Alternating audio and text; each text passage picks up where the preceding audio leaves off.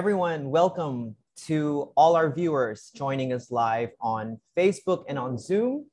We are so glad that you could join us for our second sesh in the second month of 2022, which is titled Reorganizing Exhibitions in the Asia Pacific Region, Transmitting the Philippine Experience in Anticipation of Post-Pandemic Museums.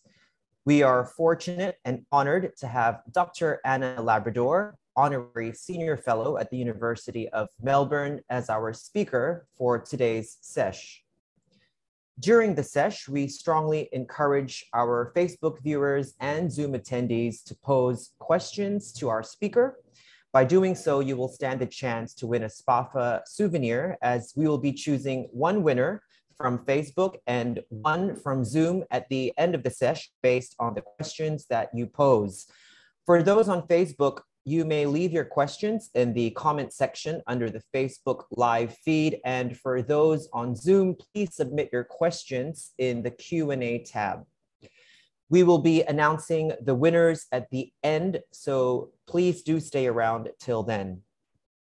Moderating today's sesh is SEAMEO SPAFA's director, Mrs. Somlak Charoenpot, who has extensive experience working in and with museums. Please join me in welcoming Director Somlak. Director Somlak, the floor is yours. Thank you, John. Good morning, good afternoon, and good evening to all of our audience around the world.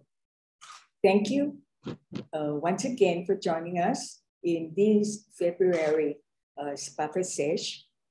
As you know that uh, this series of online activities aimed at practitioners and professionals interested in Southeast Asia's archaeology, heritage, and art, and also to everyone in these uh, who are interested in these fields to learn of new stories on the subject we have uh, only entered 2022 for two months, but there are many things happening in the world that we live in today.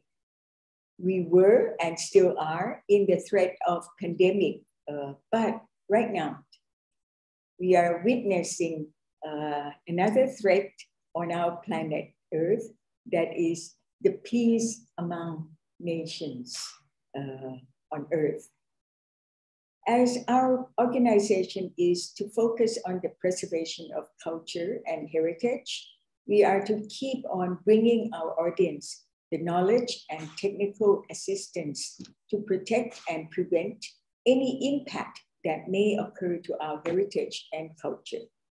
With that, uh, having said that, I would like to say that uh, our session today is planned to bring to you the story of how our cultural heritage is affected from a pandemic disaster and what kind of resilience were created by institutions like museums on this threat. And we are most honored to have just the perfect speaker uh, for this topic, Dr. Ana Labrador, a renowned museologist in the Asia Pacific region. Thank you, Dr. Ana, for accepting to be our speaker for today, Sesh. And thank you for staying up with us uh, in this hour for today. So before she begin, uh, well, her talk will be on the reorganization uh, exhibitions, reorganizing exhibitions in the Asia Pacific region by transmitting the Philippine experience in anticipation of post-pandemic museums to all of us today. I hope there are many museum colleagues uh, among our viewers today. So before she begins, let me introduce Dr. Ana Labrador to all of us. In fact, I don't think uh, you need that much introduction because all of us know you and all of the museum people around the world know you. But let me just say that right now, Dr. Labrador is honorary senior fellow of the School of Historical and Philosophical Studies Faculty of Arts, University of Melbourne in Victoria, Australia. Dr. Labrador is a social anthropologist and museologist by training, having obtained her PhD from the University of Cambridge in 2000 and an MA in Museum and Gallery Management from the City, University of London in 1991. An academic before the NMP National Museum of Philippines, she taught for 20 year, 22 years at the University of the Philippines at Diliman and Ateneo de Manila University. So she has full of experience uh, in teaching and also in the field of uh, museologists and socio, uh, social anthropologists.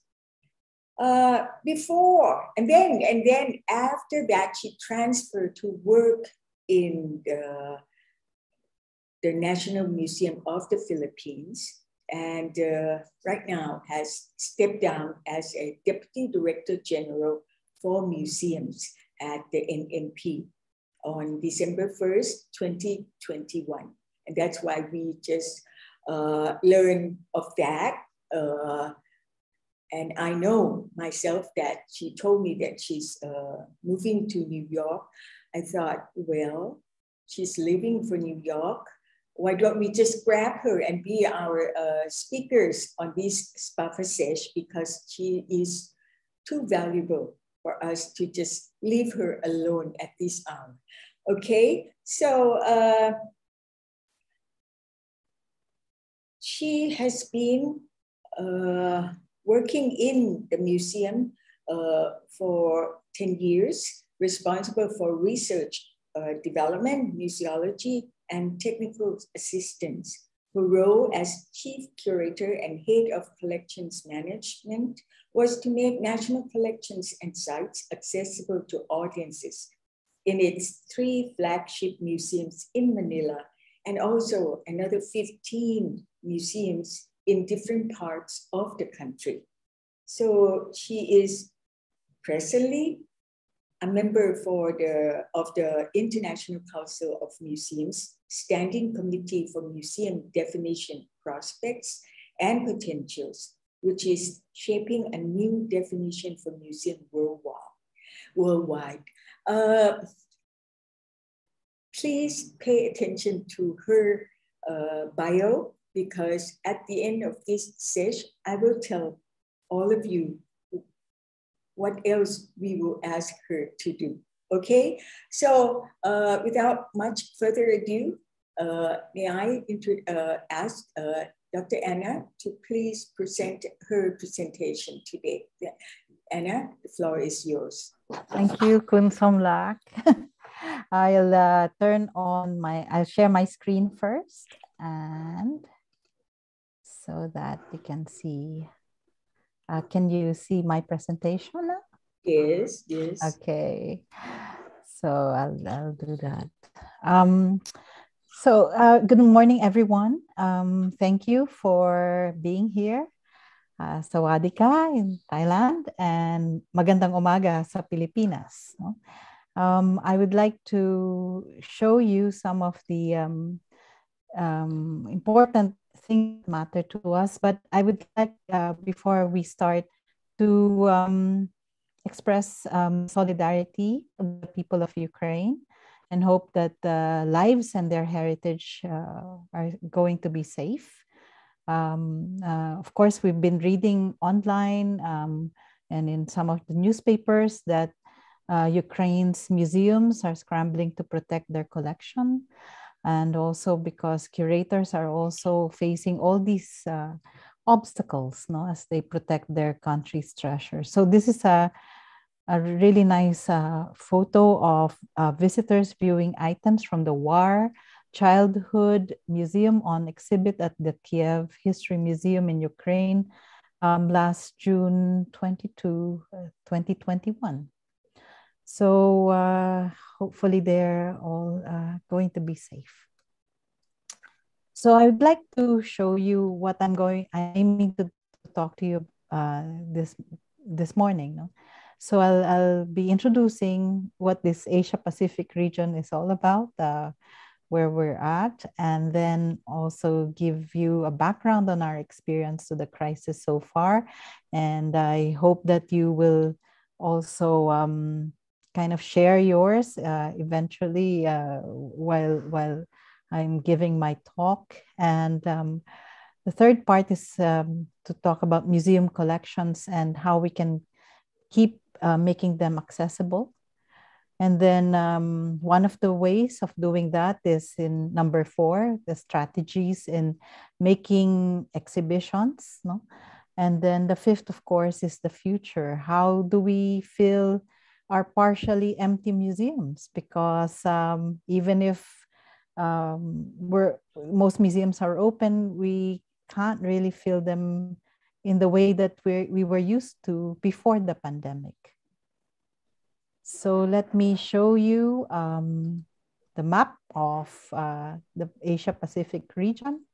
So there's really no definite kind of boundaries or sites depending it's really it really depends on the context there's so much more for us to understand about our environments and people as well as our anthropogenic activities how we actually sometimes um, disturb our sites. No? We can, for instance, also examine practices, exchanges, um, and similarities in traditional and contemporary beliefs. Um, annual rites, for instance, or food or shelter, transportation, life cycle rituals in the region, among others. So, as you can imagine, I will not be able to go through all the museums in this presentation. My estimate, as there are no clear data of the number, is that there are there are around 4,800 museums in the Asia Pacific region. So I, I, I chose the ones I will present for their interesting programs and because I got involved in some of them. And I hope I can give you an idea of the um, you know the, the wide ranging and, and value of, of museums in our region. So this is uh, the profile. Um, it is a geopolitical rather than a cultural label, which maybe if we go beyond the geopolitical label, we can uh, maybe see a, a, wider and richer uh, opportunity for us to, to study uh, the, the area. Um, there's no definite scope. Um, generally, it covers Southeast Asia, our region, East Asia, South Asia, Oceania, and the Russian Far East. And then um, there are quite a number of intergovernmental and non-governmental heritage organizations, such as, of course, SEAMEO, um, ASEAN, ICOMOS, ICOM, ICCROM, UNESCO, Asia Society, Traditional Textile Arts Society of South, Southeast Asia and others. And then um, the museum organizations and heritage conservation groups are also quite plenty. So there's the PIMA, or the Pacific Islanders Museum Association, the Common, Commonwealth Association of Museums, um, ICOM ASPAC, which is the Asia Pacific uh, Regional um, Committee, the APCARN, uh, which I belong to. It's the um, it's it's a conservation group in the tropics and others. So um, it, it, it really most of these heritage organizations cover training, survey, research, and conservation. It's it's really quite interesting for us to uh, get to know more about all these uh, organizations, and it's a it's another topic altogether. I would like to talk about what a museum is. And uh, since I'm in New York at the moment, I kind of want to, I remember this particular installation.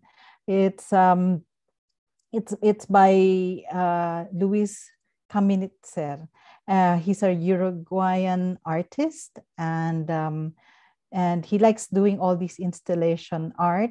He's uh, one of the more prominent Latin American conceptual artists. So what he did was he created this installation art on the Guggenheim, Solomon Guggenheim Museum. So the museum is a school. The artist learns to communicate. The public learns to make connections. So it's all about this access no, to, to collections. And we should really um, be more um, kind of aware of that, that part of museum work. So here is a more formal, um, it is the current definition, uh, official definition from the International Council of Museums, and one which will soon change. Um, we're aiming to respond to the need of, for a democratic and open process of consultation to the national committees, international committees, regional alliances, and affiliated organizations that constitute the International Council of Museums. So the Standing Committee for the Museum Definition formulated a new methodology going forward, and I'm part of this series of meetings. So the design of this methodology is based on a greater transparency, as well as the careful listening to all proposals. So at this point, members of the, um, the, the, the committee has um, uh, been given, give, we're at that point where we want to actually um, be able to present this for the um, general conference in Prague in August. So I hope that you can also participate. It's a hybrid conference where some people will be online and some people will be in uh, Prague. I just want to show you uh, a series of images to just give you an idea of how rich the Asia Pacific region is. And here are some culture, you know, to, to reflect the cultural diversity and also the biological diversity of the our, our region. So, and these are all from the UNESCO website. So this is a uh, kind of a humorous take on our experience so far but it, it has kind of some kind of serious um, aspects to it. No? So, um, you know, when we were told, told to keep our distance, to have our social distancing from each other, uh, we all scratched our heads, especially in the Philippines, where 80% of Filipinos live in really small houses. So, how to keep this social distance? No? But I'm, I, I would like to also open this opportunity for some of you. Um, perhaps you can see that we can do more studies on practices affected by the pandemic, words and concepts that could be collected and how they are perceived. For instance, with social distancing. So, this is how the family took it. So there are museums, um, and then they posted this on on their Facebook, of course. So that's uh, what they wanted to show, no, how how uh, they feel about social distancing. I mean, it's almost impossible. They're up to the rafters. So there are museums collecting already material culture of the pandemic, but we need to start collecting intangibles. For instance, stories. We need more stories. And I'm very curious about what what these are. So in, in February 2021, uh, 2020, um, we still couldn't quite grasp this idea of what what the what COVID-19 is all about. And um, while we were dissuaded to travel already at that time, uh, we insisted. We mean um, some of my colleagues from the National Museum of the Philippines, an all-girl team. Um, we were establishing our travel club because we wanted to go around heritage sites. No? And this was around the, the time of the Singapore Biennale um, that started in the last quarter of 2019. And we wanted to, to, to see some of the sites of the uh, Biennale and also to see, of course, the National Gallery Singapore. I because I've seen uh, this gallery, the Southeast Asian Gallery. Um, I wanted to show some of our of the women that I'm with who helped in, for instance, sending some of the um, collections of the museum and uh, the National Museum to uh, the National Gallery Singapore. And it, you know, it's part of taking pride of and seeing it from the other side. No? And also, I wanted to show them the installation art of Mark Justiniani.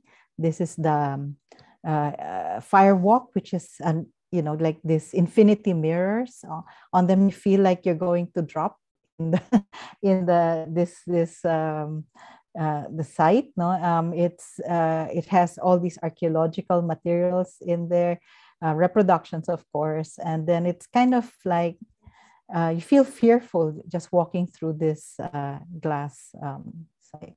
So it, it's it's also the experience of being there. But as you can see, there were hardly any people around it. That's February 15, 2022. So um, what was happening around the time? You know, we were kind of wanting to come to grips with what's what's going on. But some of the organizations around us were very quick to actually respond to the pandemic. And for instance, British Council Manila um, invited us to join this, um, I mean, you know, the National Museum to join the platform. No, um, this is the kind of responding to the, the pandemic, you know, the COVID-19, but using art um, to, to show how people feel about it. And um, they also wanted to share the, the digital, the collections of the British Council in digital form. So that I, I chose, for instance, uh, Lucian Freud's um, work. And uh, because this is how we were feeling at the time, no one really knew what's going on. And yet we have to keep working. So, you know, I was installing an exhibition despite the fact that there were no visitors around because we had to close down on March uh, 13, 2020. And so um, this kind of encouraged the British Council. So we further developed the program um, together apart, but this is all, uh, the exhibition is not physical, it's all done uh, digitally. And we used Microsoft Sway to uh, put this together. So there are so many um, kind of instruments, uh, um, software that we can use for different ways of um, conveying, you know, our ideas, our emotions, our opinions of what's happening. And this became really a big thing. Eventually, the online exhibition became much more of you know we, we got used to talking in boxes where in bo- this this rectangles of you know um, trying to understand uh, what, what this is all about. And so we were um, this particular um, program for the design week in november 2020 um, you know kind of talked across um, like for instance the artist he's actually somewhere in Negros Oriental, and he's um, no even that uh, even his his uh, connection was uh, on and off, you know, and and that was that's really kind of also uh, something to think about in terms of the digital divide um, that that also it, you know it affects our region. And so uh, the the young woman uh, next to me is actually one of the curators of uh, the British Council in in London. So, so it's it's an interesting take, and um, so I want to also show that one of the first kind of people that uh, organizations that began a series, no, is of course uh, SPAFA. So this is the first SPAFA, SPAFA sesh, no, which is seminars, events, shows, and how to's, no. And this was the first broadcast, and it's uh, really focusing on, um, uh, you know, houses that speak. You know, it's about the um, the uh, houses in Pray that's been uh, studied quite well by uh, SPAFA in, in, the past. So it's a way of also going back to uh, all these research, all this knowledge, and how, how do we, when did we generate all this knowledge, how do we manage them then? And museums can also be part of that um, knowledge management. India actually also sent us an email and said, um, you know, why not, um, you know, test our our app and said they have this Hop on India app, which is really quite quite also interesting. And that th- those were the early days because it was sent uh, to me in June 2020. So it's also interesting. And then sometime in October, one of our uh, friends from the National Museum of Mongolia, who eventually transferred to the University, National University of Arts and Culture in Ulaanbaatar, um, he, she, she, um, Sundev Enkarnan actually uh, talked about possible um, projects with ICTOP, which is the Training of Personnel Committee of the ICOM.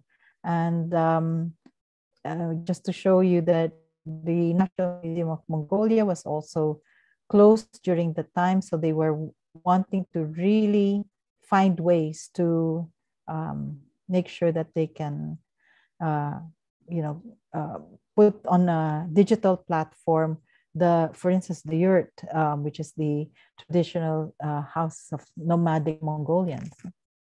So um, another example is uh, the museum in Sarawak. So a, a, number of museums that were actually um, in the middle of being upgraded or being built uh, uh, manage to take their time rather than you know all these manic uh, ways of uh, meeting the deadline so the lockdown um, helped to plan or plan better um, programs no so um, according to the press release of the sarawak museum in borneo that the that it is the second largest museum of southeast asia no?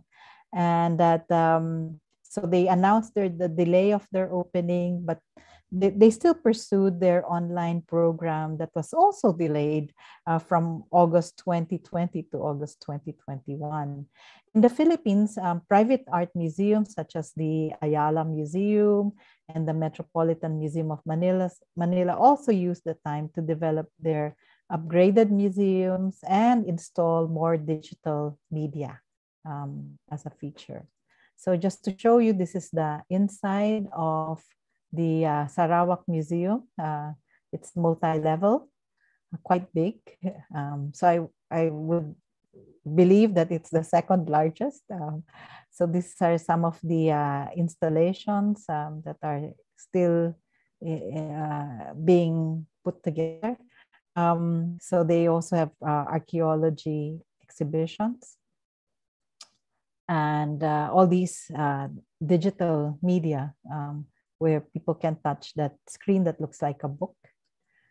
Uh, it's still closed, um, but just to show you that it's a lot of hard work um, planning exhibitions. So on level three, for instance, they wanted to show how indigenous peoples of Sarawak actually live uh, in harmony with nature. So it's it's that, and they have focused on intangible heritage also.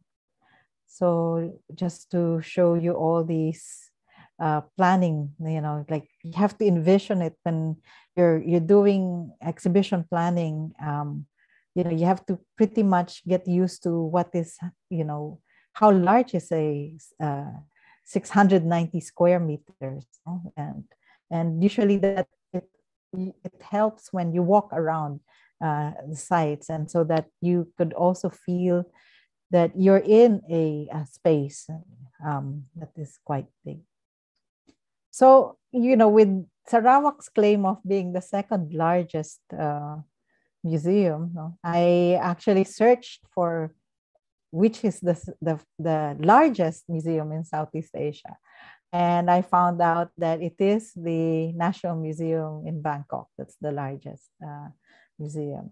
And so, but since 2019, when I last visited in September 2019, we found out that, you know, really that upgrading has really been going on Um, so this is one of the the images no, of um, that visit. Um, and also, you know, to look at how they use colors. Um, I like it because it's that's what I do also in my practice. And using existing space, which is quite difficult too. So um, I want to go, go into the third part of my talk, which is about uh, museum collections and access. And this is a, these are images of the museum boxes um, that we've put together. Um, we actually have the very first one that's uh, 10 boxes um, that features the um, biodiversity of Mindanao. And this is uh, these boxes are um, the on the biodiversity of uh, Visayas. And actually, we managed to transfer them uh, to different schools and colleges until, of course, the pandemic happened and we had to um, um, stop and it got stuck uh, for over a year in one of the colleges in uh, Leyte. No? So it is now somewhere in Iloilo. We've managed to move them. Um, it visited Bohol on the way to Iloilo, and so we're quite happy that uh, a lot more people uh, could gain access. So this is a combination of um, uh, of course reproduction and then uh, the turtle for instance is a, an actual uh, spe specimen from our collection.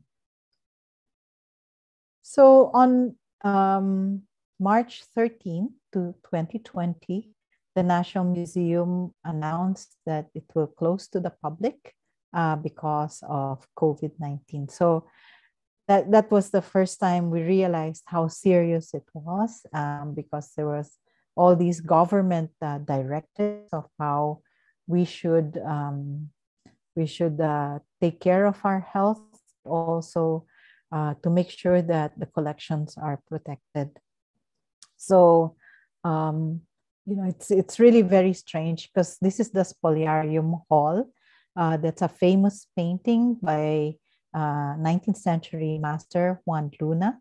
And uh, in any given day, this, uh, you know, during before the pandemic, um, it, this hall is almost always packed because it's a famous painting.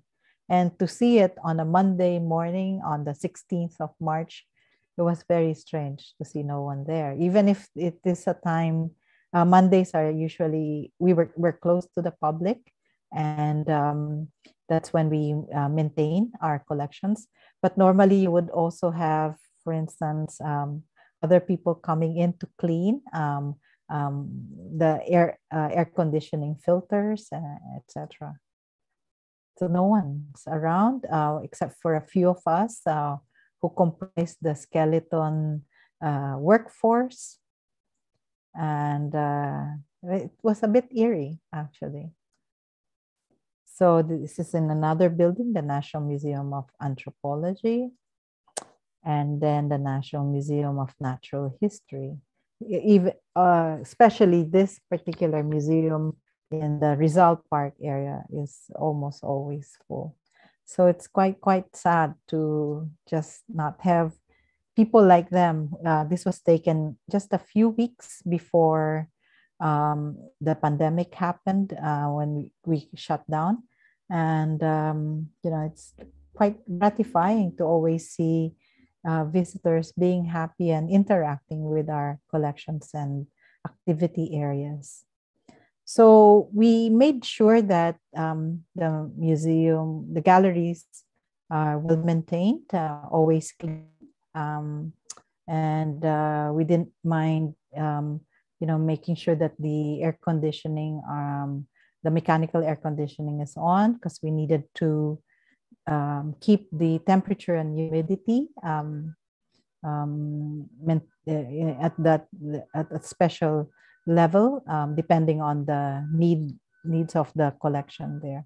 We were also very mindful about security, and so we needed to make sure that um, we would um, be able to um, you know uh, keep everything in intact um, and make sure no there's no threat of fires and you know um, and and also uh, theft. No?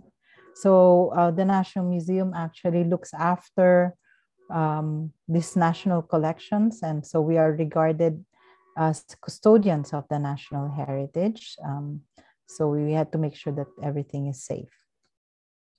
So how do we count numbers? How do we account for the museum's presence, no, um, or presences? So on site, we usually look at, you know, how many visitors come in within the museum, um, you know, visits from uh, from communities, um, look at the environments. You know, for instance, we're in the middle of, um, you know, very busy area of Manila.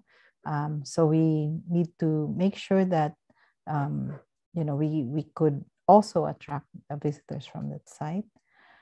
For offsite, um, there are traveling exhibitions. I showed you um, the museum boxes. Um, field research also is a way of uh, reaching out. Um, uh, workshops um, outside of the museums and uh, technical assistance. This last part, um, before the pandemic, we weren't very serious about it, the online one. In fact, the National Museum managed to upgrade its website only after, um, you know, when, when we were on lockdown um, because, you know, we had more time. But also we didn't kind of really take too seriously our social media platforms and other forms of uh, digital access. But during the pandemic, that was the only way we could actually reach uh, more people. And we started counting that. So we also uh, managed to scan uh, a lot of the old publications because it was, you know, most of these publications were done before, um, you know, before the um, uh, all these digital kind of uh, layout and design happened. And so uh, this was all scanned and then put on a uh, format, and then we then placed that in the on the website. So these are free um, publications, and then um, you know because we wanted to make sure that historical publications uh, are uh, available. So we launched this during the International Museum Days uh, because there was a call for diversity and inclusion. And then we managed to also come out with uh, new publications, no? uh, such as this catalog of uh, this artist, Ofelia, Ophelia Helvison Teki, and then new monographs no? about our collection and exhibitions.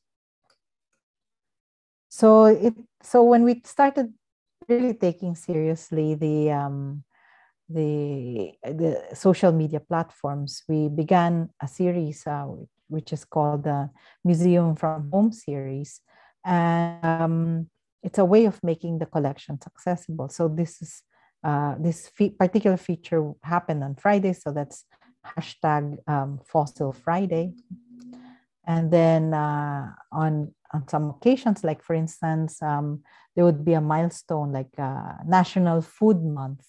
And so we'd come out with uh, these objects no, uh, from our collection, ethnographic collection, and it's uh, the coconut grater. Um, that's from different parts of the Philippines. So it's quite interesting.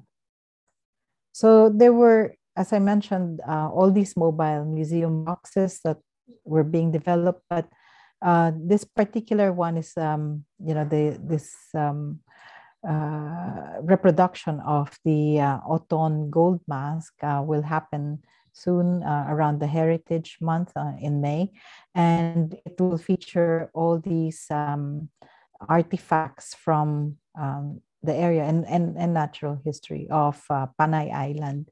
And there will only be five boxes and that would fit into a small village um, um, um, building, no, uh, like a, a, hall, no, for for um, local government. Uh, the tiniest local government unit, and then so we had more of these uh, activity books. Uh, we had uh, coloring um, sheets, no, And then uh, by 2021, we kind of got gotten used to how to deal with the pandemic and how to use uh, online programs. So ASEM, which is the Asia Europe um, um, uh, organization, celebrated its 25th anniversary, and uh, you know they they wanted to create um, a digital exhibition without physical a physical exhibition. So it's quite a, an interesting um, format, and we learned how to also see how all these differing software can affect uh, the way uh, one can present um, exhibitions like um, three-dimensional ones rather than, rather than just flat ones. So this is an example of that uh, particular project with ASEM. So, uh, uh, and in fact, I was asked uh, if we actually sent out uh, these uh, objects, and I said, no, it's all kind of done digitally with you know, like a 3D um, scan. So um, we planned um, an exhibition um, managing to borrow from uh, one of our Philippine consulates, actually from New York, um, 115 artworks that got caught out during the lockdown. And it took more than six months to bring it when you know we were just expecting it to be less than a month to come to the philippines so this all came from new york and we had to uh, do a rapid assessment to see if well it was uh, uh, six months in limbo if something happened to them um, and that how we can address them. So we had a lot of discussions about how to for instance uh, see if the damage happened before the um, uh, the trans the the transfer no? Um, and uh, then we have to report all that. So a one way of also um, putting across our our uh, collections or even our knowledge no was to you know have like a live online program sorry. So this was when the total lunar eclipse happened, and so we had uh, we were broadcasting live from Rizal Park. No, that's our Museum of Natural History at the background, and uh, an enormous Lapu-Lapu statue at the back. So it's quite quite romantic and interesting. And and our our staff in the regions um, were particularly um, interesting in the their practice because they learned how to, I think more than us in Manila, no, how to actually address um, some of the issues about access. You know? And so this is their setup. You know, there's, they're really quite busy in the National Museum in Western Visayas in Iloilo.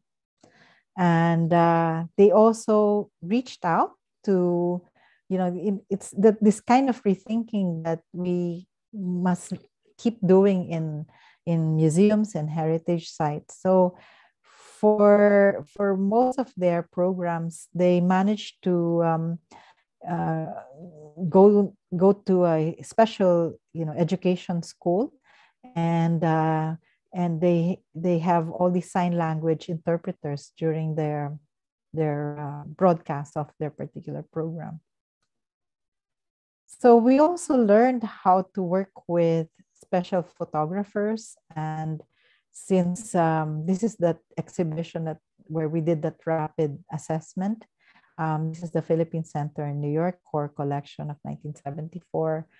And um, I mean, if we have time later on, I can show you um, that link. Um, and it's a way for people who can't visit the museum to go around the exhibition. So we have a series of this. It's uh, available on the National Museum's website so that you can see um, what what it's like. No, it's it's very very interesting um, because we've put in also information, um, so you can just tap on them so that the, if you want to read further about the artwork or the artist, it's also that. Uh, it's also in this project where we learned how to do um, you know the QR codes um, for uh, because we didn't want to uh, put too much text um, and because we do uh, things bilingually and in the regions we have sometimes three languages also uh, besides filipino and english so the local language is highlighted.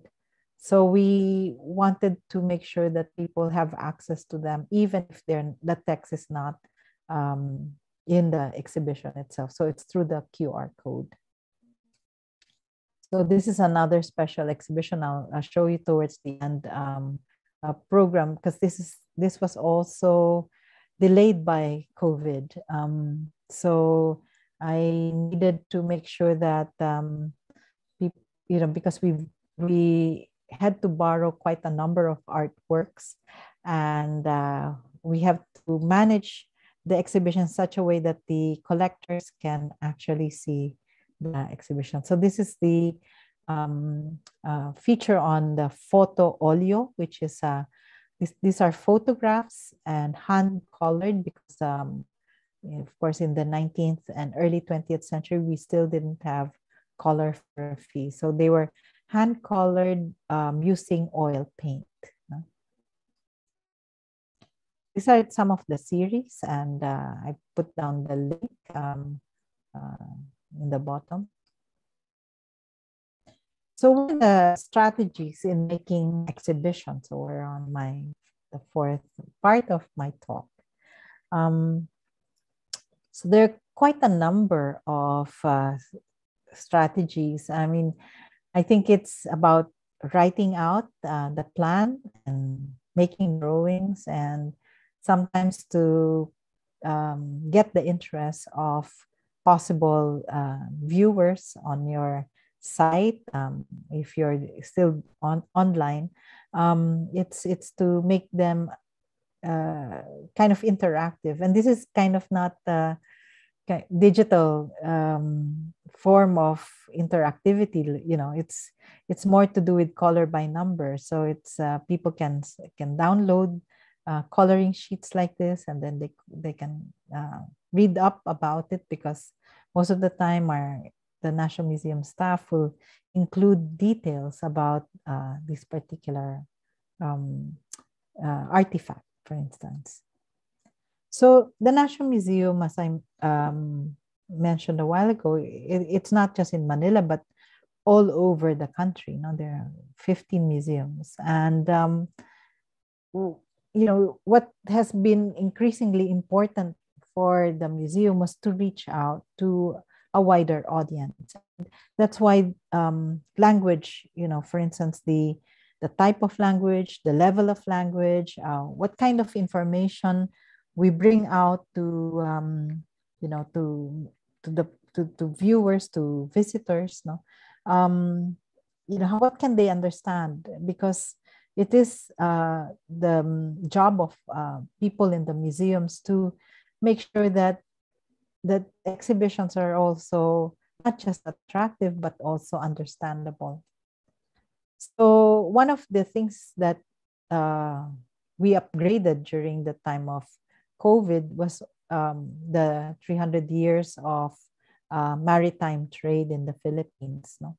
and uh, because it wasn't so nice and so understandable so instead of um, the, the fear, of course, is not to make the exhibition look like an antique shop, no, uh, where you can buy all these Oriental ceramics, but to also put in, um, you know, information that has something to do with uh, how they were uh, were taken from wreck sites. This one is in the in Marinduque, in the middle part of the Philippines, um, because there has been extensive trading in the past and and uh, ships would pass through the islands no so the philippines is quite uh, also fortunate like thailand to have uh, all these uh, wealth no so this is um uh, an example of the installation that we did but this is an interesting um, kind of experience because we couldn't travel during the time that was in uh, the uh, I think September 2020, when it's like August, September 2020. And so we wanted to make sure that it's it's done properly but we had to work with our contracted um, our contractors. No? So uh, it was really quite um, quite quite difficult, very tricky, and uh, but we managed to to do it quite uh, well. The space was, was small, so uh, and so it was done um, in a in a uh, uh, you know kind of a not not not it didn't take too long to to do it. Um, and the other side of that uh, exhibition was about the uh, Morionan. No, that's it's this uh, usually it's a ritual done during the Holy Week, um, and it thought it's it's about a play, a street play on uh, the Passion of Christ, and uh, the Morion is actually you know it's it's it's a full-headed mask, no? and and refers to some of the um, you know the the the Roman Romans, um, and uh, so it's quite interesting that they've a lot of these uh, costumes were done at home, and it's also a very important um, ritual uh, where young boys uh, become, you know, men. It's part of the rite of um, um, of passage of uh, of uh, the boys. So it's it's uh, an interesting area. Um, we we like that space, and there's a we managed to put in an activity area that was not used until very recently because the, even if we put together uh, all these exhibitions, um, it was still closed, so everything was on online. One of the things that um, I think uh, we neglect in, uh, you know, given that we are so used to thinking about disasters as you know these short episodes the very um, very you know uh, something that that happens in a given time. Like for instance if we have a flood then you know you kind of meet the challenge to make sure that the flood uh, you know gets drained away and then we clean. But the pandemic is is a as i refer to it this is a, is a disaster like no other. And because uh, so we don't know for instance the long-term effect of that not just on the physical health but actually the the mental health of the staff no and um, you know this is another kind of discussion that we can have um, because um, some of the the staff members also had to deal with kind of domestic issues no and so by November 2020, we pushed for funding from our gender and development um, budget. And so that we could hire two psychologists to help uh, our staff through uh, you know what what they're experiencing. But uh, i think um, we should not not forget about the importance of making sure that um, that staff can actually do their jobs, but at the same time, to look after their uh, well-being as well. I mean, if if if I could manage at the time when I was uh, still at the museum to get uh, funding for yoga and other re- relaxation techniques, that would have been really better. so that's uh, another thing. So I'll just I'll just show you some of the projects that uh, we managed outside of Manila. And uh, at this point, I was already able to travel. Um, that was in July um, 2021, and then also uh, uh, September, end of September 2021. And so Fort Pilar is an old, um, uh, you know, fortification, a Spanish uh, barracks, no, that's been converted into the National Museum of uh, south, western southern Mindanao. So the idea was really, it's much, much delayed, uh, is to hang the um, lepa, which is a houseboat um, that's common around the area of uh, the Sulu Sea. The Sulu Sea is also quite famous because the Tubataha Reef, which is a World Heritage Site, is uh, that's where it is also located. So I you know, I had all these ideas of this hanging uh, the lepa from the from the ceiling, and then so that people can peer around while going through this this area. So we took we had to take out uh, a whole floor um, even before before the pandemic, and then we just got, got kind of delayed by by all this um, concern. So so we wanted to show the artistry even of the you know these wonderful fish nets um, in in our collection. Um, and then boats. Um, we didn't realize that there were more than three boats. We were planning for just three boats. There were actually 10 boats um, in the collection. So, and their their actual size. So we're it's very lucky that um, there's enough space to accommodate them all. And also the um, the tools of for making boats because the uh, the Sama um, are actually quite famous for uh, their boat building capabilities. And then we've managed to also rehash some of the old exhibitions. Um, and uh, because we had this wonderful um, team uh, of contractors who kind of understood why I don't want to waste something like this, you know, and because it was, it has his, its own history as well. So we translated all these um, you know, this is how in the 70s or 80s um, exhibitions look like, you know, uh, the labels. So we managed to translate that into a nicer uh, format. And um, it's important to also collect all these objects. In this exhibition, we had four languages. It's Bisaya, which is the lingua franca in the area. And then, of course, the um, uh, Chavacano, which is the pidgin language, um, um, you know, Creole language eh, uh, uh, Spanish Creole language, and then um, uh, Filipino and English, uh, which are all in QR codes.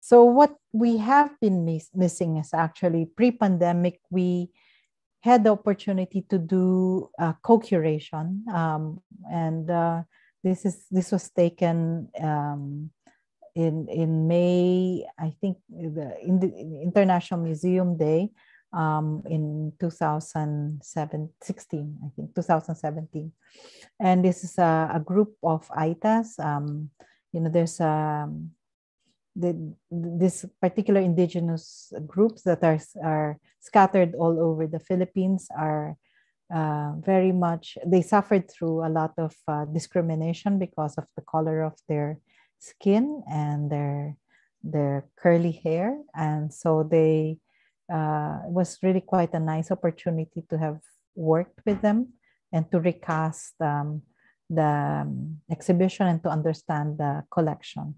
Um, and the other challenge that uh, you might also be having is you know how to do field work um, in the middle of the pandemic. And uh, you know because it's we, we really don't know how you know the way the um, pandemic or the covid-19 is, is behaving you know there might be more variants so the strategy was really instead of sending staff from manila is to actually develop the regional sites and the regional partners. And in this case, the Northern Cebu Archaeological Project was funded by the Aboitiz Foundation. So we found money for the activity, but also to partner with the university on site. So it's quite, quite good. So these are some of the um, images, you know, immediately it's um, the study is actually about the metal age in northern part of Cebu, which is in the middle part of uh, the Philippines, and to to show how you know how uh, the metal age can be systematically uh, recorded, documented. So quite quite interesting, and this was just on the first site um, in in San Remigio. So uh, in actually uh, in April, I will be returning to the Philippines to do field work um, um, I managed to actually it was my uh, PI, um, the principal investigator. Um, um, so the who who has actually Andrea Yankowski. Uh, some of you may know her because she has actually done archaeology in Thailand and also the salt making process. This is salt from Bohol province in in Alburquerque town and it's actually baked in its own clay pot no so very very interesting and it's you know i mean we we could do much more about this because it's artisanal salt so that's uh, andrea cooking her salt in one of those workshops so the british museum endangered uh, material knowledge um, program gave us uh, a little bit of money to do uh, this documentation and hopefully we could build a proper workshop for the uh, the artisanal salt makers. So so other things that we really have to do is to reach out to more. We were surprised, like this uh, group of young uh, historians putting together because our what we what we came up with in the National Museum uh, everything that we publish is actually public domain. So they can pretty much do uh, these things like uh, put them on different digital platforms. So another thing that I wanted to to discuss is like um, we we had to actually create different ways of communicating with our with our colleagues no? Because how do we move forward? So in october 2021 we were given actually funding by the ASEAN COCI and um, and and uh, put together an online museum congress so that we could talk about exhibitions um, and other public programs, which is museum interpretation. And uh, given that there are a lot of challenges, like I mentioned a while ago, uh, the museum divide, and I, mean the digital divide in museums. No? And not all museums uh, can have access to uh, digitization. So what do we do beyond that? So it's a long, long program, um, quite, quite uh, interesting. Three days. Um, uh, we divided the program in such a way that you know the first on the first day the keynote speaker um, who is um, Dr. Paul Michael Taylor of the Smithsonian, talked about this import the importance of you know what could have been done before the pandemic, and um, so there were also special topics, and also the uh, practitioners talked in the afternoon.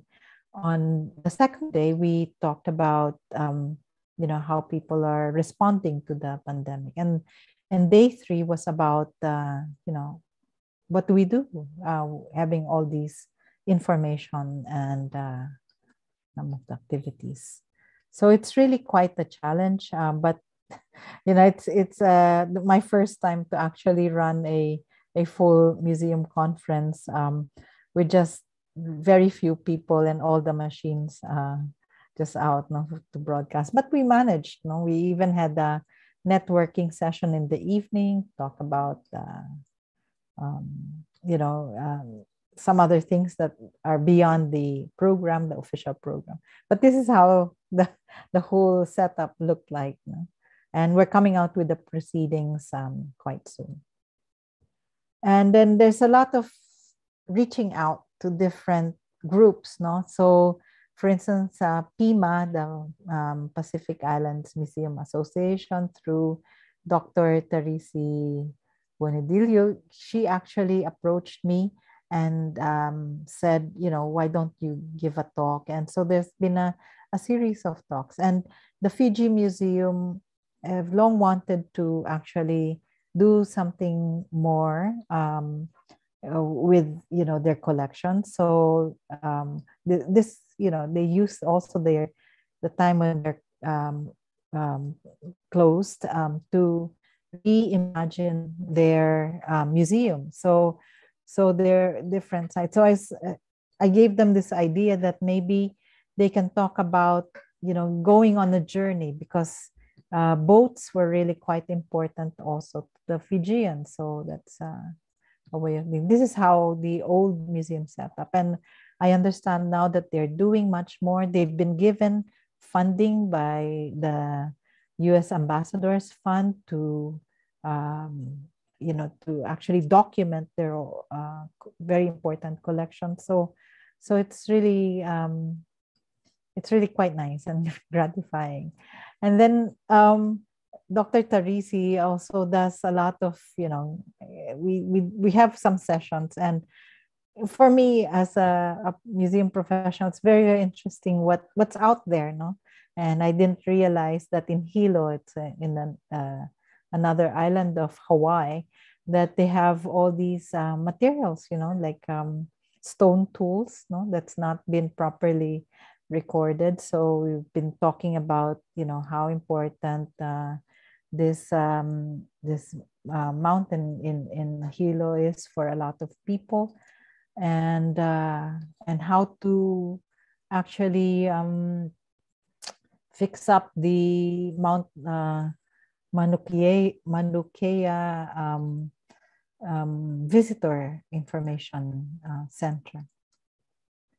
So one, one of the things that you know I, I asked myself, besides um, for instance, um, you know, why are all these things here? like in, you know, in terms of collection, what are they doing in the museum?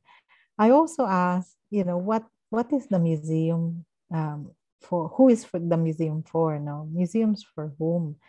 And I kind of am attached to Paulo Freire's um, education, uh, you know, pedagogy of the oppressed, no, and because it, it you know, through my practice, I've noticed that it's really quite important to think in terms of, you know, the um, human beings not only to be present, but to be part of it. And that's why we need to develop all these different programs that are more interactive, that, you know, values um, the ideas no, of uh, of a, a lot of people. Um, so it's it's it's important to know all these requisites and competencies, but the end of the day, you have to translate that.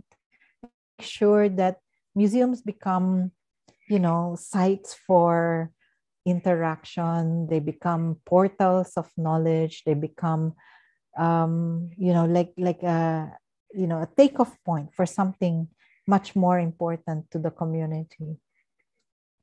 So, so I want to kind of suggest, I'm going, getting towards the end of my, my talk, no? That, um, you know, the, uh, it's important that community members you know, have practices of protecting what is theirs, you know, and that's why we need to co-curate with uh, community members and those that they could share. You know, we must be aware that not everything is for display of what they have. Um, we also need something like a legal framework and financial support to be able to establish museums. Um, but we have to also learn to share decisions. So it's really this notion of, uh, you know, creating democratic spaces. So in the Philippines, for instance, it's important to take note that, um, you know, this these divisions of people they always call them tribes but that's the uh, early american anthropologists uh, talking because they their framework is actually from from you know the native americans uh, the, the the local indigenous groups in in the us but there's no such thing in the philippines um, instead of tribes they have to be to use a certain type of village identification scheme. And um, so that's why there's a lot of resistance to the national narratives that we give uh, to them, you know, uh, especially people like us in the academe, you know, the people who are considered gatekeepers. Now we have to really kind of relax our our hold on um, these certain um, aspects of how we can get them more involved. No? So we need to also uh, encourage young people to participate in uh, you know traditional practices so that uh, you know they will it may attract interrogation dialogue and quite possibly you know renewal of practices. In my own practice as an anthropologist i've seen how for instance the area that i worked in for my my phd thesis, uh, dissertation uh, in bontoc mountain province in the beginning they were so embarrassed about you know their traditional clothes and all that but it's it's fun to see them kind of being proud now of who they are and you know even wearing voluntarily their clothes rather than you know being forced to in the past so that they can be displayed. So so there's a there's a change and um, i think it's it's not because of us but because it's this assertion of who they can be and how you know how we represent them in museums and certain heritage sites. So um, finally you know also these non-interventionist interests from outsiders may bring positive reevaluation of formerly denigrated practices. So there's this self-consciousness that develops because of that the kind of interest that we we can express no? So it's it's really really quite good. I mean you had you had marlon martin and stephen acabado giving giving that talk uh, i think that's the third um, SPAFA sesh or second. And it's, it's really, really, really very important um, that you, you know, that you, we, we develop that kind of self-consciousness among us because, you know, like Marlon Martin, who's a Ifugao, he can pretty much talk uh, for himself, no, not us. No? Um, so I just want to share some images with you. Um, you know we miss this kind of interaction. We can't have this anymore. Um, but really uh, there's so much um, in terms of what we can still do um, and we need to move on. And so um, for our asia pacific colleagues what we have to think about is that conservation in the midst of disaster prone nations especially island nations is very, very important, and we need to do the groundwork even before another uh, pandemic happens, nor another, because it's it's all this idea of making sure that our collections are also safe, so that people will remember um, who they are and where they come from. Um, intangible heritage is also becoming much more important uh, over tangible uh, and material culture. And that's why we need to document how these things are made and the stories that go with them. I'm a full subscriber of co curation, which is a better way forward for most of our programs. Um, we still haven't accounted for the social burden of the pandemic to our human resource. Um, you know, there's a lot more people who are leaving uh, museum and heritage work and, you know, focusing more on their families, especially if they lost members of their families. Um, so there's also security and the safety of people and collections. So that has to go uh, together. So both intangible and tangible aspects are very, very important if someone who's very knowledgeable dies of uh, COVID 19, you know, and then that knowledge has not been documented. How do we um, deal with that? No? And then the access to collections um, and experience no, to digital platforms. Um, uh, hopefully, we could find other ways no, of making sure that that uh, uh, is possible. No, um, and uh, we can we can record them even even on you know analog formats no? so just show you how we build that up you that photo all all your exhibition because we sometimes didn't see each other no and it's it's the intangible that was really quite important in this project so we did a lot of digital ren- rendering of the collection um, on to, to be displayed and how they might look all together. And this is, you know, some of the things that we did. Um, we had a group chat. We talked about this. We also recycled. Uh, we learned how to recycle uh, materials because there was none available at the early, you know, in the in in 2020. Uh, most of the um, shops were closed um, for materials we did a lot of mock-ups using you know the size of the paper is the size of the artworks uh, we depended a lot on for instance this drawings like this a floor plan and we left them on the the site so uh, they, that can be seen by the other team that comes in because because we were going to work alter on alternate days um, so finally this is how it looks. Um, it's quite nice. It's uh, one of those photo alley that's like a decoupage where you know you have you put the pictures on the shaped wood and it creates this 3D effect. Um, I also had this idea that we can use the posts because they were like uh, quite tiny um, to dress them up and so that we can put all these images from you know, studio photography um, in the early 20th century. And so this is how it now looks. Yeah, I, was showing a visitor uh, it looked like. So that's the, the, um, the um, introduction to uh, that particular exhibition. So um, just uh, to, to let you know that um, there is also the International Museum Day, and I really like the theme, the power of museums. But I think the power of museums can only happen when we involve uh, as many people as possible. We network, we reach out, uh, we see our pro- programs as a, a very humbling experience because we don't have the the knowledge of everything. So we have to share and, and consult and uh, converse.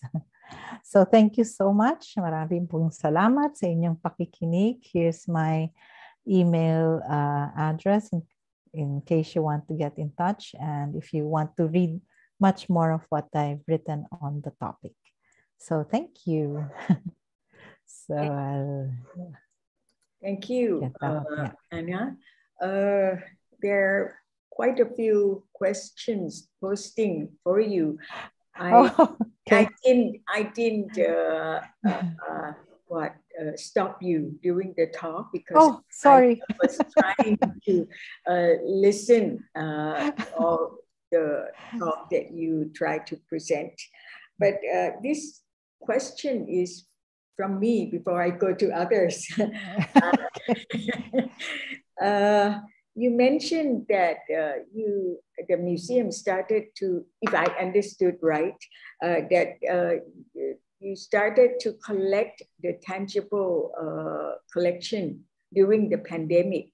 Am I right? No, not us. Actually, it's it's more of the other museums. Um, you know, like uh, the Smithsonian, for instance, have mm.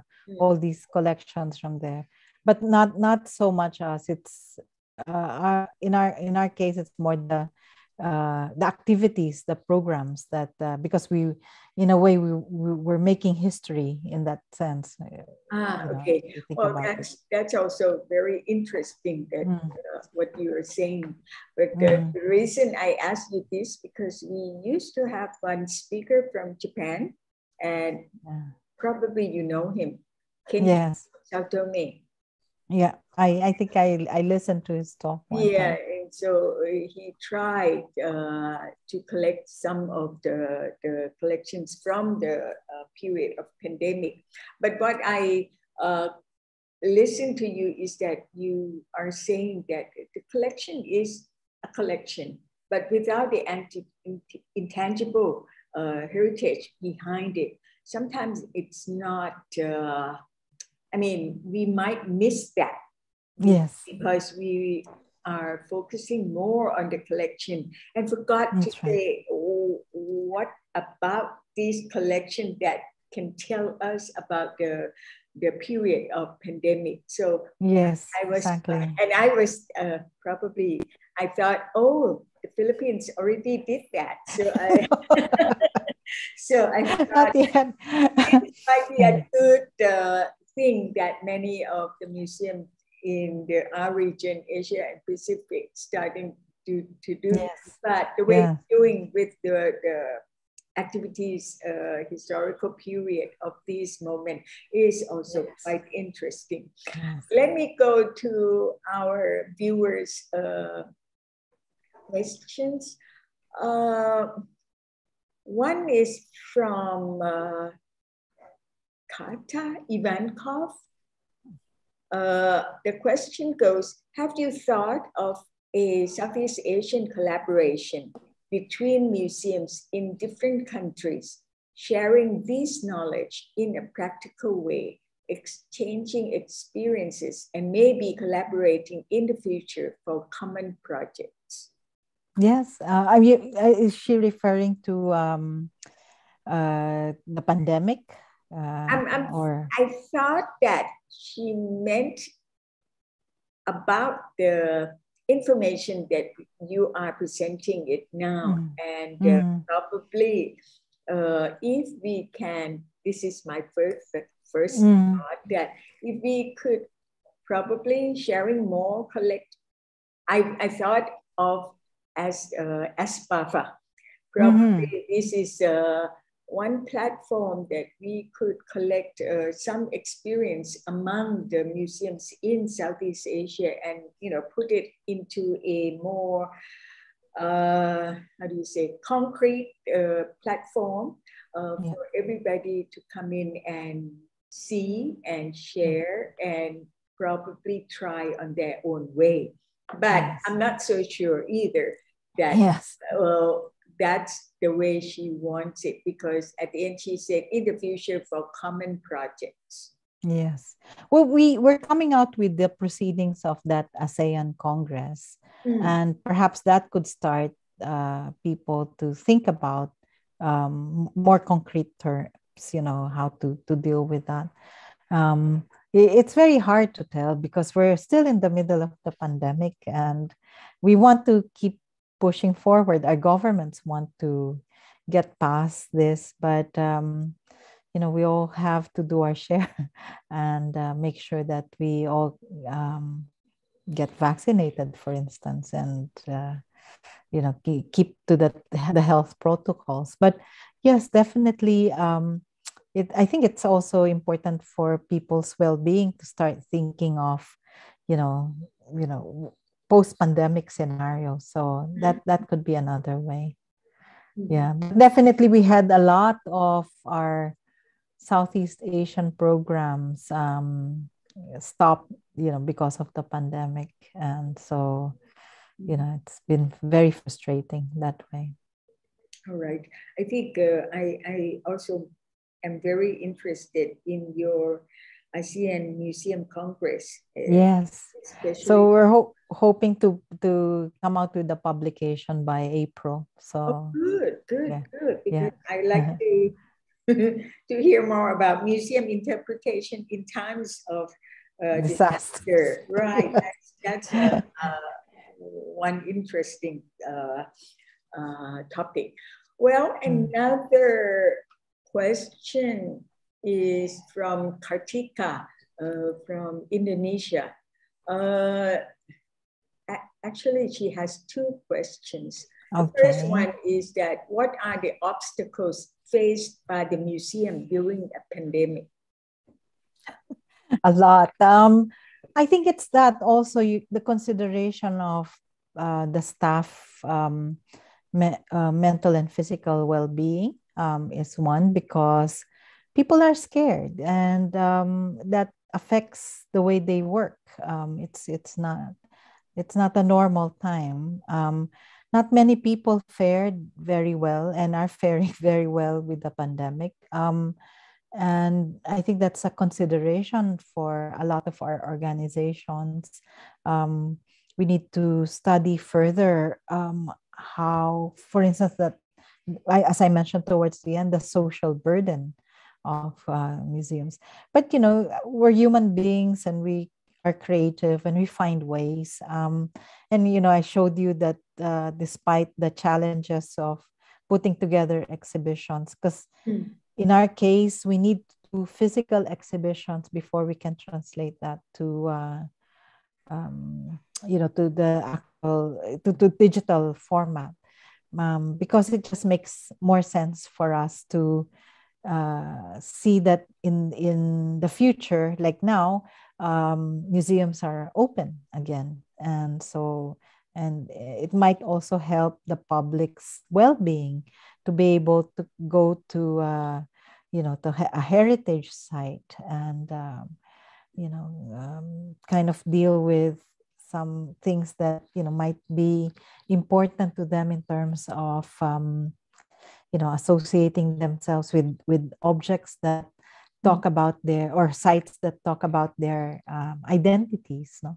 so so there are plenty plenty of um, you know um, kind of challenges but but i think the one thing that's often um, ignored is the is is the well-being of uh, staff and that you know we should look after um, ourselves first before we think about you know being able to go out there in the public because i think in some some cases there are um, occasions where where even the staff they're scared of uh, you know possibly contracting the the the covid-19 so you know what to do uh, given that. So there should be um, a kind of you know constant dialogue about uh, programs. I mean like, we talk about maybe like here in new york they're saying that by wednesday children can go to school without masks. But parents are are very apprehensive you know. Mm. it's the same way in in in the national museum um, last year. Um, you know we've opened uh, you know you just have to to book and but but normally even if they book um, only a quarter or one third uh, actually come to the museum because there are there so many other factors. So what what to do with that no? I mean you have you've opened and finally it's there. But it's another way of uh, you know finding ways to to get um, um make make the museum accessible and so so maybe it will be more of a hybrid um, way. Uh, maybe it's going to be, uh, you know, both digital and physical, and so so it depends. I think in the context of your own museum or heritage site. Mm-hmm. Yeah. Well, uh, I, I I also think along. yeah. Uh, another question from Katika uh, also, she said that uh, the museum collection is, well, I, uh, what she meant, I, I have to uh, translate her question. She said whether the museum collection is always plus its collection and change its placement for variations. I think what she meant is uh, to change more of the exhibitions for variations for business. yes mm. actually that makes sense i mean even in from a conservation uh, especially if like you're putting exhibitions like um, like textiles or mm-hmm. uh, more more organic uh, objects that are made of organic materials and so you know textile exhibitions need to be um, you know uh, changed every so often so that the the textile can actually rest and uh, uh, find another group. So that's that could be like uh, part of a program. It could be thematic. Um, it's the same for mats and baskets and and all that. Mm-hmm. So so so I think it makes sense to to be able to do that, and then to um, engage in you know kind of communities that produce them and and present a much more contemporary uh, representation because because uh, in most cases, like for instance, in most national museums, it's all these historical objects, no? And maybe, you know, having something like a um, artist residency program will be uh, beneficial because the artist can respond to uh, historical collections. So, you know, it's one way of also uh, upgrading the, the mm. exhibitions. No? Yeah. I'm sure that uh, many people have many other questions, even for me, but uh, I'm so overwhelmed with your talk. no, that uh, I, I probably uh, behind the scene, I might uh-huh. uh, get in touch with you for more questions. But I, sure. I'm just thinking that uh, the first uh, reaction of every museum uh, during the pandemic is to go online. And everybody yes. is talking about the virtual tour. Yes. So I'm trying to think about that. Had any of the museum, uh, how do you say, uh, I can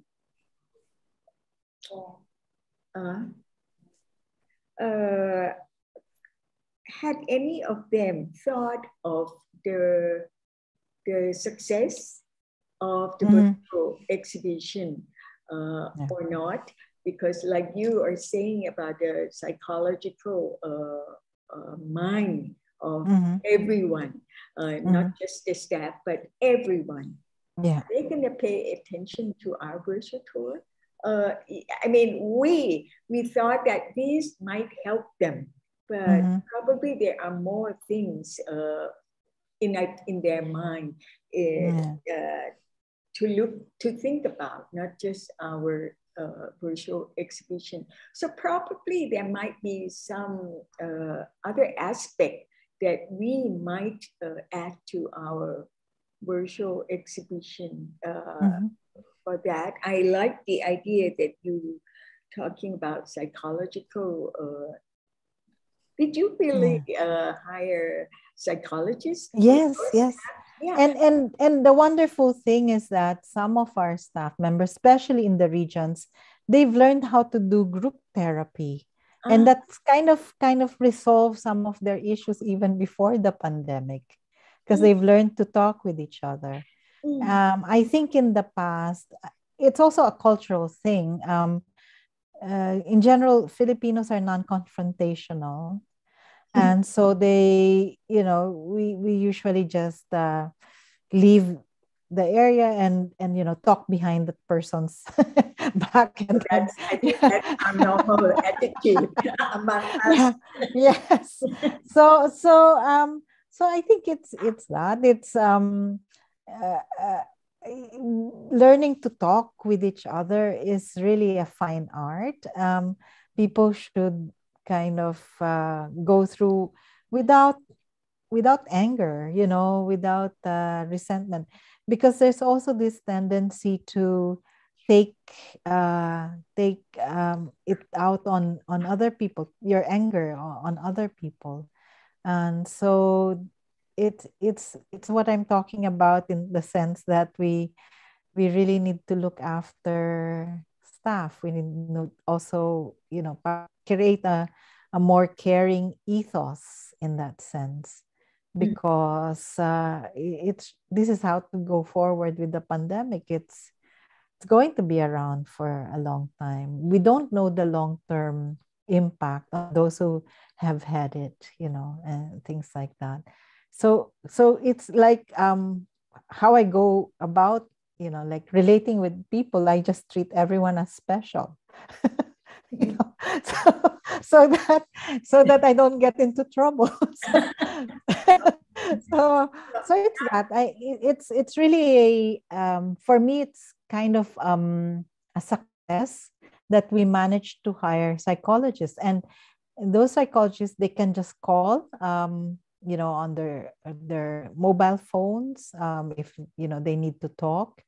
Um, and there are some uh, sessions where they can uh, be in appointments. They can they can go on appointments. Um, you know, especially in the early days of the pandemic, um, they we, they can't do the face to face thing. So it's it's it's that you know. So it's well, just a matter of managing. that's a very great idea because the psychologists are not only for staff, us too, right? Yes. yes. Especially it's useful. It's useful to have religion also because right. you know if you can't can't get past a certain thing, you can always pray. so, so prayer is energy, right, so that's useful. Yeah. Well, yeah. Uh, my last question uh, is uh, you just mentioned about curation and all that. You mentioned about the word co-curating. Can you yes. ex- expand a little bit on that?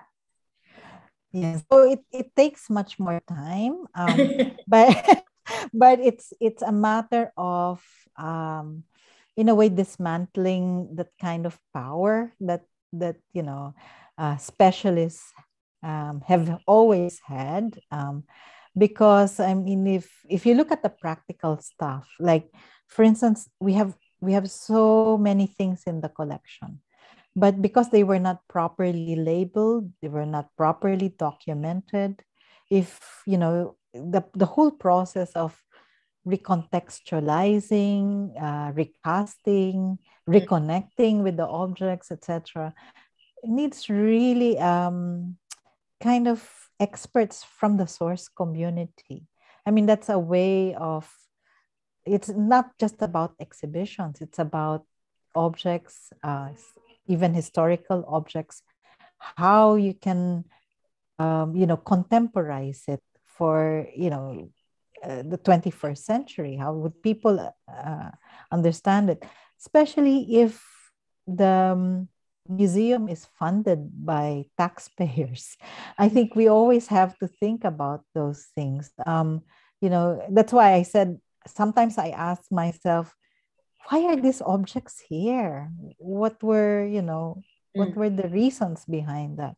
And so, you know, the lack of provenance is actually a good starting point. Um, we've had that experience with uh, the some Lumad groups from Mindanao. They're the non-Muslim groups, you know, because some of the objects we don't know what they're for. They're just there, but you know, because we're a national museum, so we can't uh, just dispose of them, you know, things like that. So so it's you know it's so interesting because we you know certain people can talk about the technology of making them the technology of actually um, using them you know.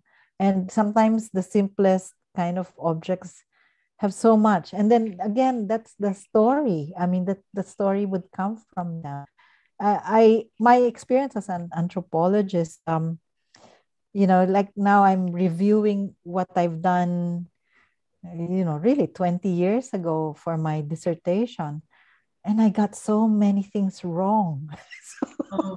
so, so, so, you know um, because sometimes the the data that you gathered you know is is really time bound and sometimes it's about other people's interpretation of things you know and then you know sometimes i get I get sworn at by by you know the old people and say, you know, you're really a stupid girl.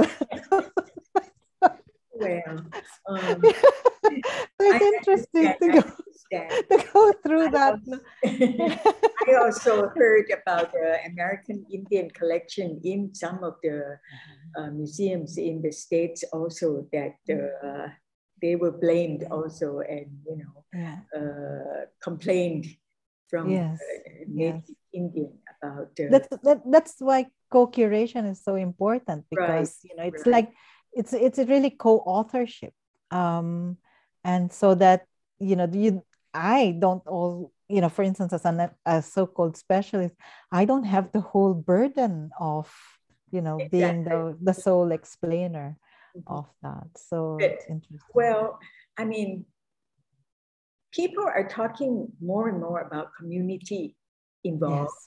Yes. But yes. Uh, this, I asked you this, and you mentioned this is uh, another aspect that I would like the museum people to to look at this community yeah. involved. It's not just their support for having a museum or yeah. other things, but the identity from them also, yes. and uh, uh, living heritage, uh, intangible yes. heritage from yes. them. And, yeah. and, and that's why uh, SEAMEO SPAFA is also gonna uh, what uh, organize uh, another project on the ethics. But yes. these type of ethics are not mm-hmm. only for legal uh, way of looking mm-hmm. at the, the ex excavation only, but yeah. the you know the, the whole thing about ethics uh, concerning yes. the, native uh, people who owns the collection. Yes. Oh, another another big issue is repatriation. I think right. in a lot in a lot of cases, um, you know, the collecting institution um, kind of thinks that just by returning that solves all the problems, but it it's just really a start um, mm. because mm. you know and and it has all these other things uh, attached to it that uh, becomes an, an issue uh, for the community that that uh, is the recipient of the repatriation. So it's an interesting area you know and uh, you know. Yeah. go on and on and on with me. That's true. uh, we we i think we closing to the end of our time. So I like to thank you very much, Ana, yes. Dr. Ana yes. Labrador, yeah. yes.